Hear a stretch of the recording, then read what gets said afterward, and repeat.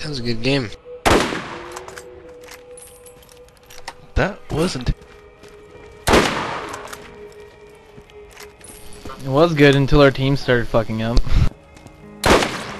Wait, my last one.